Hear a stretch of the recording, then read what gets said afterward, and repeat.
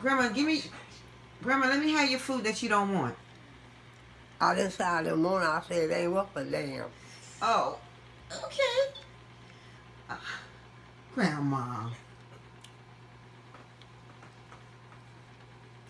It seemed like you like it the way you licking on that spoon. Kind of tasty. It's the worst shit you ever put in your mouth. Grandma. Okay, Grandma, that's it. Let me have it. You don't have to eat that. Give it to me. You didn't have it, and you ain't gonna eat it. Yes, I will. I'll eat it.